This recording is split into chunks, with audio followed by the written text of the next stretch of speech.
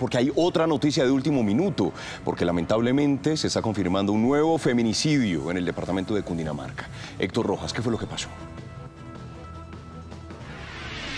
Andrés, efectivamente se trata de Lady Daniela Moreno Buitrago de 25 años que fue asesinada a manos de su expareja sentimental Rubén Darío Gil Barbosa de 24 años. Los hechos se presentaron el día domingo 2 de junio sobre el mediodía. La comisaría de familia le había entregado la custodia del niño de 4 años a Rubén Darío Gil Barbosa. Él le dice a la mamá, a su expareja sentimental Lady Daniela Moreno que llegue hasta justamente a Tausa donde él cuidaba una finca. Ella como sospecha y que esa persona le podría hacer daño, pues le pide a dos familiares que lleguen hasta este lugar, hasta esta finca, para recoger al niño. Sin embargo, cuando van a ingresar, este sujeto, Rubén Darío Gil, le dice a ella que no puede ingresar en el carro. Por lo tanto, Lady Daniela se baja, ingresa caminando y cuando ingresa a esta finca, desafortunadamente este hombre le dispara en la cara con una escopeta. Veamos lo que dice justamente la policía de Cundinamarca en el municipio de Tausa,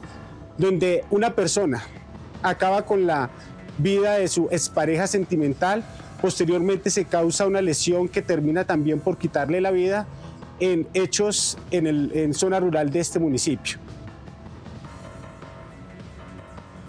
Rubén Darío Gil Barbosa, de 24 años, se disparó con el mismo, la misma arma, la misma escopeta que utilizó para acabar con la vida de Lady Daniela.